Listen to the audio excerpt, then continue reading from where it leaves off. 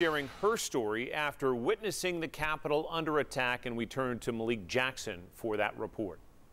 Debbie Hurley of Knoxville was on the ground in D.C. when the protests turned to riots. Right here in the middle of it, and you know, of course, we're hearing the ambulance, the the police, you know, coming in and out. Someone had their phone on and said they were a shooting in the Capitol. Hurley was there to attend a pro-Trump rally until things turn violent, something she condemns. We don't need to do it in violence.